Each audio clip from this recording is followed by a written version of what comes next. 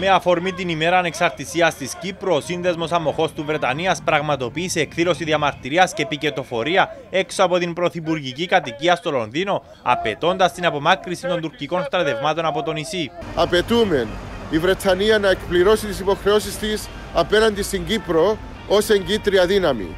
Που αυτό έγινε το 1960 με την υπογραφή της όταν έδωσε την κουτσουρεμένη ανεξαρτησία στην Κύπρο μετά από πολλά χρόνια απεικιοκρατικού ζυγού. Οι διαμαρτυρόμενοι κρατώντας πανό και πίκετ διαμαρτυρήθηκαν εναντίον της Βρετανικής κυβέρνησης γιατί όχι μόνο απέτυχε παταγωδός να πιέσει την Τουρκία να σταματήσει την κατοχή του 37% του Κυπριακού εδάφους, αλλά και γιατί στηρίζει σιωπηλά την Τουρκία στις παράνομες πράξεις της. Σε επιστολή του συνδέσμου προς τη Βρετανίδα Πρωθυπουργό τονίζεται ότι αποτελούν έσχος στο διεθνές δίκαιο τα νέα τετελεσμένα της Τουρκίας και του Προέδρου της Ρέτσεπ Ταγί στην κατεχόμενη Αμόχωστο και πως η πόλη της Αμοχώστου θα πρέπει να επιστραφεί στους νόμιμους κατοίκους της και υπό τον έλεγχο της διεθνώς αναγνωρισμένης δημοκρατίας της Κύπρου.